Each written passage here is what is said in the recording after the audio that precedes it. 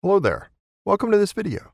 Let's see in a short time how to use the Expert Workspace inside Premiere Elements 2018.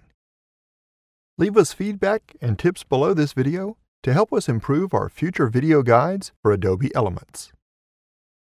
In our beginner tutorial for Premiere Elements, we have seen how to use the basic workspaces, such as the Quick Workspace, to realize simple, customized videos by using a storyboard view and the guided one used to apply more advanced effects following step-by-step instructions.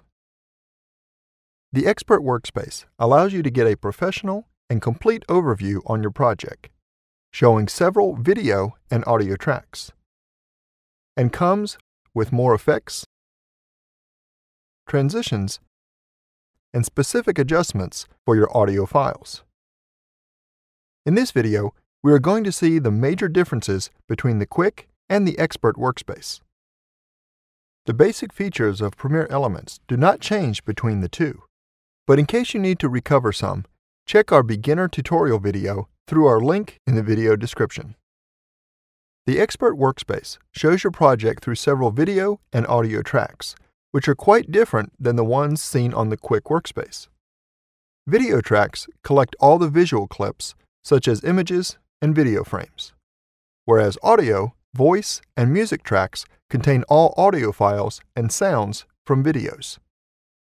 By default, you have three video and three audio tracks, but you can add others by right-clicking on a track and going to Add Tracks. This kind of structure is called Classic View and can have multiple visual clips overlapping in time, which can be text, video, or image clips.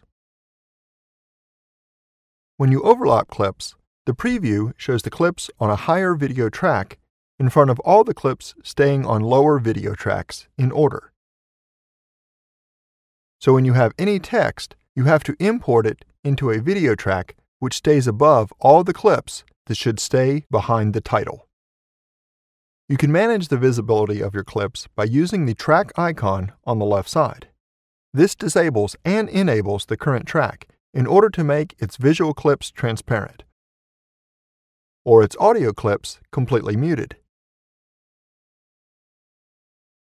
Another important difference is the management of the videos containing pieces of audio. These are shown with two clips, one representing the video frames under a V letter on the video track, and another for the sound part with an A letter inside the audio track. These are also joined together, so if you move the video clip, both of its frames and audio will be moved. You can make video frames and audio independent by right-clicking on them and going to Unlink Audio and Video. The timeline also has secondary view, called Audio View, specialized in audio editing and management. All audio tracks are enlarged and get two additional buttons, the record, and the solo buttons. The record button is used to record audio from your microphone. On the new dialog box, set the microphone to use on top.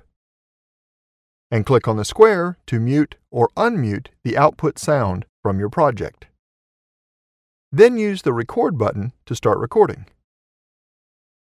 And the stop button to stop and save the result inside an audio clip on the audio track interested, and also listed inside the Project Asset panel in the top left corner, among the imported visual and audio files.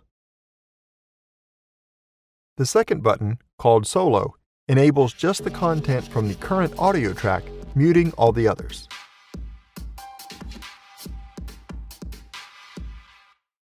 With the audio view, you also get a decibel meter on the extreme right, which shows the volume level from all of your audio tracks. This should never assume red colors, or sound will get distorted. You can limit the maximum volume level by clicking and dragging the bar at the top.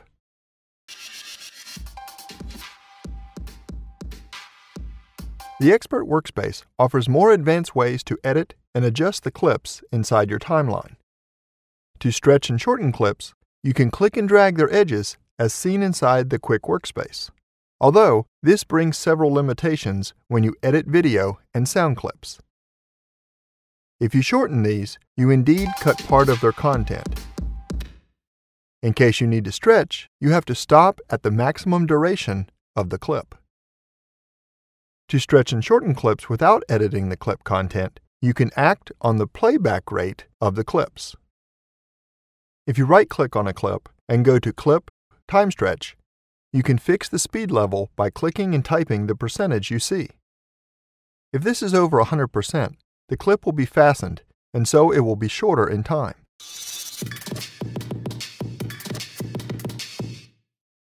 If it is under 100%, the clip will be played slower and will be longer in time.